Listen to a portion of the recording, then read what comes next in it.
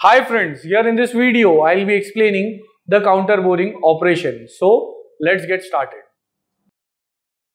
Now when we talk about counter boring operation, this operation is performed after drilling operation and why it is done.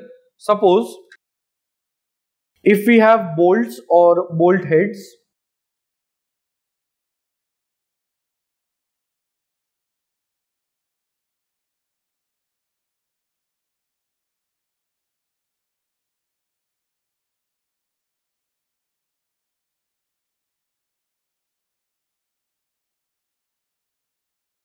Now, here there is a bolt which is having a bolt head and the threaded portion. And suppose if we want to attach this bolt in a given workpiece then at the top as we see the diameter is greater compared to the diameter at the bottom in the threaded portion. So we have to go for the counter boring operation. And counter boring is performed in such a way like here we have this workpiece which is kept stationary or it is held in the machine table and in case of the drilling machine it is fixed then here we have the center of the counter boring tool because this is the counter boring tool.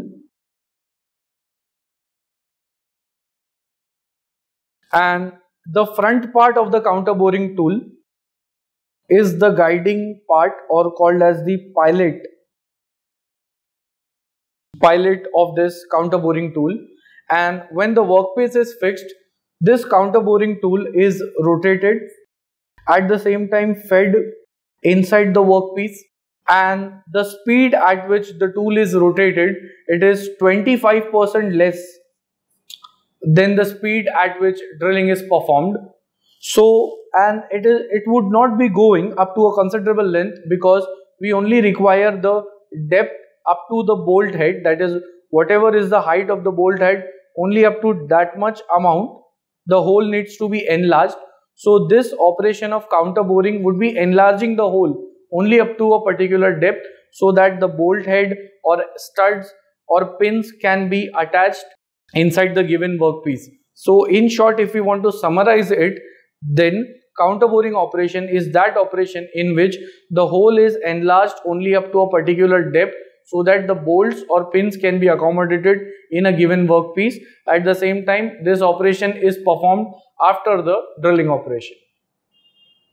At the end, if you'll find my videos helpful, you all can like, share, comment and subscribe our channel and share it amongst your family and friends. Thanks for watching.